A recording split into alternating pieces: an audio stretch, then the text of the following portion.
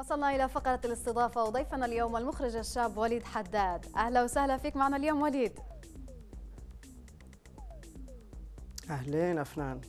الله يحييك وليد. وليد طبعا نظام البرنامج أو نظام الأسئلة عندنا مجموعة أسئلة معتادة في الحلقات وبعدين بنبدأ بنرجع نتكلم عنك وعن إخراجك. فمستعد؟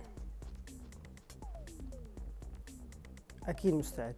أول سؤال كالعادة أوصف نفسك بكلمة.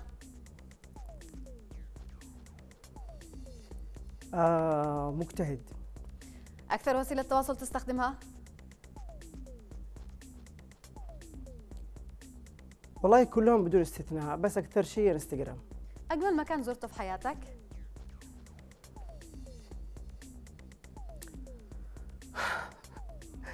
هذا السؤال ما فيش داعي ولا مكان للأسف ليش؟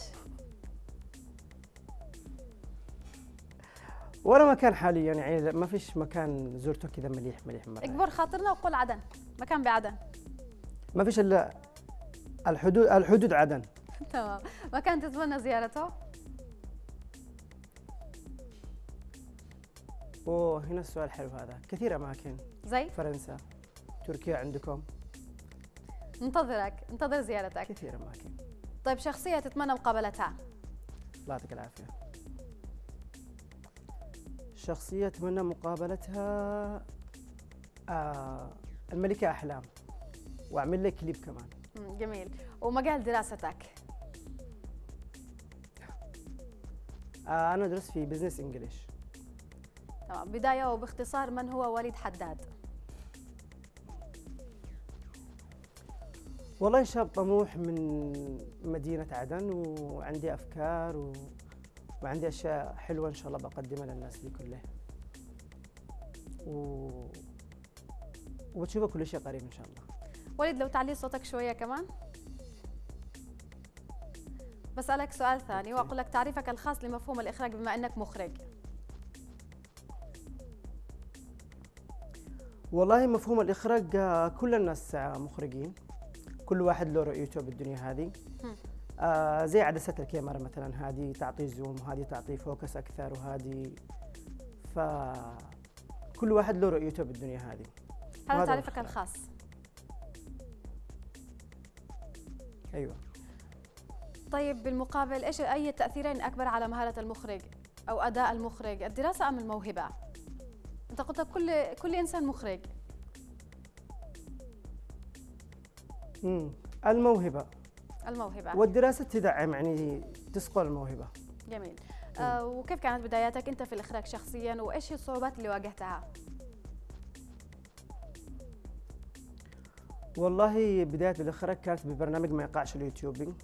مع كرم بحشوان. أما ال- العقبات اللي إحنا نواجهها كشباب دائما هي موضوع ال- الإمكانيات. المادية. أما الأفكار والحاجات هذه كلها موجودة. الإمكانيات هي أكثر عقبة بالدنيا. أولا سلامنا لكرم ثم بسألك مرة ثانية سؤال ثاني أو سؤال آخر إيش هو أول عمل قمت بإخراجه؟ كاملا. برنامج ما يقعش في اليوتيوب. هو أول عمل لك و... تمام. أول عمل برنامج ما يقعش في اليوتيوب. وليد برأيك ما هي عوامل نجاح المخرج ب... يع- برأيك يعني وما هي النقاط التي يمكن أن تسهم أو تزيد في نجاحه؟ والله الالتزام. الالتزام هو أساس كل شيء. بالعمل وغير العمل. جميل. أكثر يعني أوضح الالتزام بإيش؟ الالتزام بالعمل الالتزام بالمواعيد الالتزام بالوقت. الالتزام إنك؟ تسلم كل شيء على أكمل وجه. الالتزام بكل شيء. هذا العمل الوحيد لنجاح المخرج.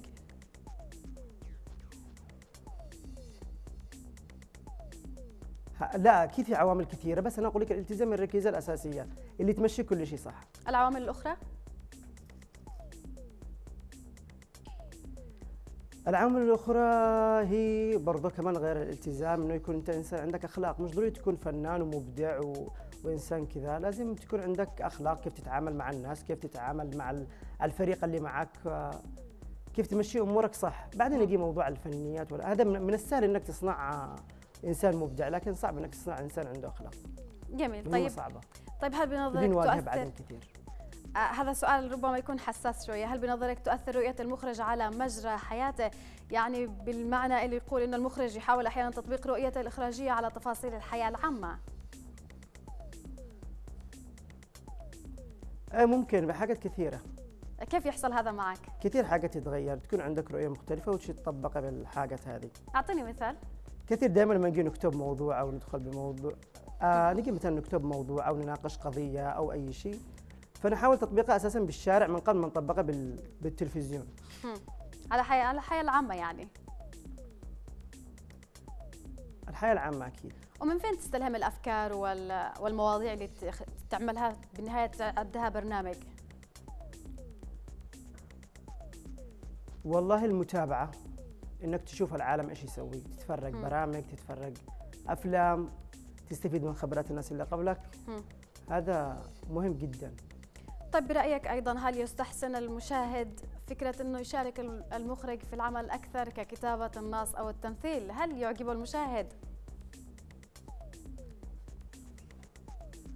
والله إيش فيه هو كتابة النصوص هو أريح بالم- للمخرج ها. أنا أشوف إنه لازم المخرج هو كمان برضه يكون معد أو يشارك بالإعداد لكن يمثل لا لا. المخرج بالنهاية على رأس كل الأعمال على رأس كل المراحل في العمل الفني. بس تعتقد المشاهد يعني يتقبل هذا يستحسنه. أكيد طيب أنتقل لأسئلة أكثر خصوصية. ممكن. هم. قلت لك ككاتب لكن ها تفضل تفضل. أصلا تفضل. قلت لك المشاهد المشاهد يفضل إنه يكون ما كثير ما يحبش إنه المخرج يكون ممثل ده اللي أنا أشوفه يعني أكثر شيء. ما يحبش مشاركة المخرج في العمل الفني طيب أم، الأسئلة الشخصية الأكثر شخصية الآن أول حاجة شهادة تعتز, تعتز بها هل هناك شهادة تعتز بها؟ أحد أشاد بك؟ والله شهادة الناس دي أكبر شهادة أكبر شهادة شهادة الجمهور. الناس انك تلاقي بعد كل عمل كلمة طيبة وكلمة شكر. هذه أعز شيء والله. جميل. وماذا عن جائزة حصلت عليها؟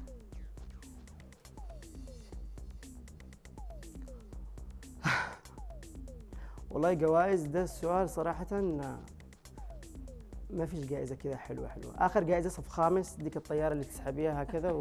وتمشي لها قدام. بتحصل في يوم ما إن شاء الله بتحصل. طيب آه وليد عمل فخور به أو أكثر الأعمال اللي تفخر بها؟ كل شيء. أكثر الأعمال اللي تفخر بها؟ آه أكبر عمل. كل الأعمال والله بس أكثر شيء نحن الآن نصور برنامج. جديد تلفزيوني اسمه الحافة لايف آه بيكون على قناة يمن شباب. أعتقد أن البرنامج ده لازم بينجح كثير إن شاء الله والناس بتحبه وبتتقبله. برنامج مرة كوميدي وسلس وحاجة شبابية مع نجوم مبدعين. بتشوفوا كل شيء إن شاء الله قريب. شاء الله نبارك لكم ونتمنى لكم التوفيق. طيب وليد آه، أنت قلت أنه الله المخرج يبارك بعمرك. أو أنت شخصيا تستلهم أعمالك من المتابعة الأعمال الأخرى في الغالب. طيب أي أي من المخرجين دائما تتابع أعمالهم؟ وما هي الأعمال الفنية اللي تحب تتابعها باستمرار؟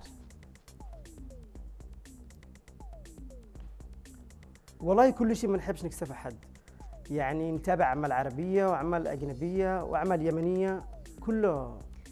لازم أمثلة؟ لازم يكون المخرج يتابع. إذا ما تتابعش ما بتصنعش حاجة. سمي لنا مخرجين يمنيين أي؟ متميزين. أكيد طبعا لو على مخرجين اليمنيين عمر جمال رقم صعب ما حدش يقدر يوصل زيه يكون. طيب وتقييمك للأعمال الفنية اليمنية؟ آه حلوة كأداء وكسيناريو كفرق آه ناس تشتغل بس آه تنقصها إمكانيات. إحنا الإمكانيات محتاجين كالعادة. إمكانيات بكل شيء بصراحة. فعلا. آه النصيحة اللي تود. تقدمها للمخرجين القادمين ال- أو المستقبليين. والله النصيحة هي الفنان بطبيعته لازم يكون لازم يكون عنده أخلاق بأمانة. يعني أنت ممكن تشتغل وتكون إنسان مبدع بس زي ما قلت لك هو إنه ما يكونش موضوع الأخلاق ده مهم بصراحة. إنك أنت تكون واجهة تكون واجهة بعدن بأعمالك بفنك اللي تقدمه. فالناس إيش بتشوف منك لو أنت كنت واحد مش ولا بد؟ فلازم أخلاقك هي اللي بتعك- بتعكس قبل أعمالك. يعني الفنان بأخلاقه مش بأعماله. وفي الجانب العملي؟ بالجانب العملي آه، نحن محتاجين منافسة. بإنتاج الأفلام بإنتاج البرامج محتاجين. وتقريبا هذا دخلنا بالجو هذا دحين الآن يعني. جميل. في في في حاجات بتنتج يعني على 2019 في أعمال كثيرة بتكون موجودة. جميل. نشيل و- الكل يشارك نشيل الكل لا يستحيش لا يخافوش. أعملوا اشتغلوا. جميل. طموحك الشخصي وليد وإيش الجوائز اللي تتمنى تحصل عليها؟ والله كثير والله. كثير. كله بيجي. كلمنا طيب. نشتي نعرف. نتمنى نشارك بأعمال آه، نشي نشارك بأعمال سينمائية نشي نعمل أفلام نشي نشترك بجوائز نشارك مسابقات برا يعني و بالراحة. عينك على أي بيجي. عينك على أي جائزة؟ جائزة؟ أيوه. أوسكار. جميل جدا. أتمنى لك كل التوفيق وليد حداد. أوسكار مش كفاية؟ كفاية بزيادة. الله يعطيك العافية.